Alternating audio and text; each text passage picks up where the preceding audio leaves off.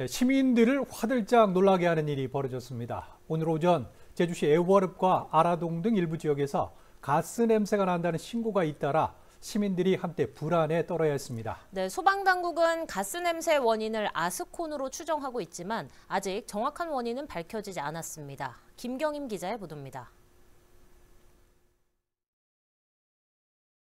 오늘 아침 8시 5분쯤 제주시 애조로 일대에 가스 냄새가 심하게 난다는 신고가 소방으로 접수됐습니다.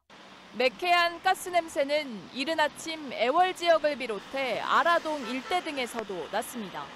출근하려고 이제 무수천 정류장에 이제 내렸는데 내려서 이제 가게 쪽으로 걸어오고 있었거든요. 근데 갑자기 가스 냄새가 뭐가 역하게 크게 확 나는 거예요. 그래서 어 가스 냄새가 싶어서 마스크를 내려서 이제 맡아봤더니 가스 냄새더라고요.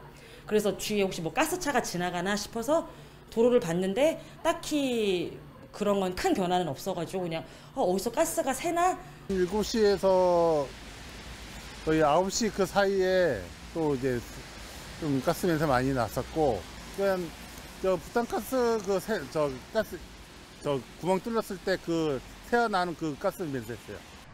최초 신고 이후 3시간 동안 119 상황실로 접수된 관련 신고는 모두 12건.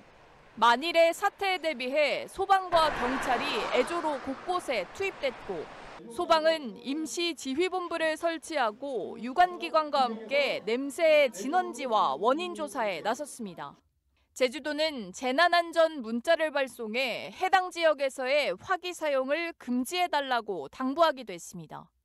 한국가스공사는 탐지 차량을 이용해 신고가 접수된 애조로에 도시가스 배관이 매설된 47km 구간을 확인했는데 1차 조사 결과 가스 누출 정황은 파악되지 않았습니다.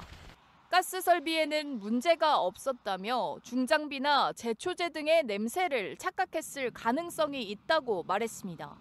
소방은 당시 초속 8m의 남서풍이 불었고 아스콘을 실은 덤프트럭 9대가 애조르를 오간점 등을 토대로 제주 시내 한 아스콘 업체를 냄새의 진원지로 추정하고 있습니다.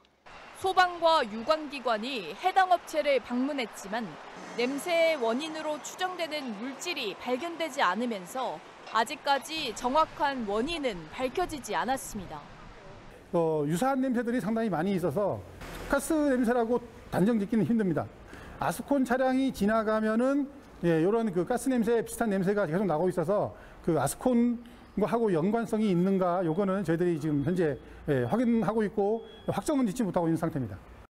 이른 아침부터 제주 일부 지역에 퍼진 가스 냄새에 한바탕 소동이 빚어진 가운데 소방은 정확한 원인을 조사하고 있습니다. KCTV 뉴스 김경임입니다.